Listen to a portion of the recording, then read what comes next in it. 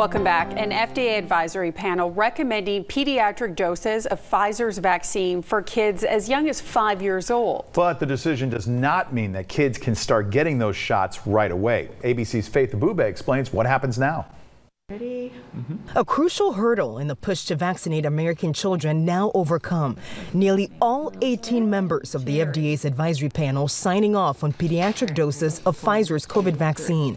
Only one deciding not to weigh in with a vote. We don't want children to be dying of COVID, even if it is far fewer children than adults, and we don't want them in the ICU. Data shows children ages 5 to 11 make up nearly 2 million of the COVID cases recorded so far during this pandemic. 8,300 have been hospitalized across the country, a third of them in the ICU. Pfizer says just a third of its adult dose is 91% effective at protecting children in that age group against symptomatic disease.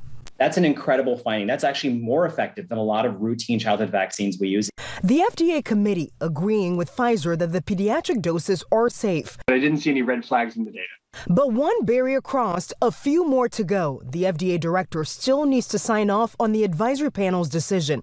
Then a CDC advisory panel and its director also need to weigh in before kids can start getting shots in arms. All that is expected to happen by the end of next week.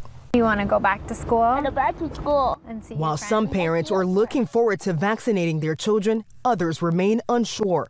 A recent survey finds a third of parents with kids ages 5 to 11 plan to wait before getting their kids vaccinated.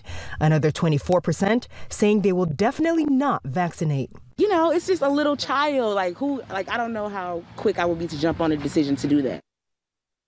And new this morning, the CDC is now recommending another booster for those with weakened immune systems, saying they may need a fourth shot six months after their last dose.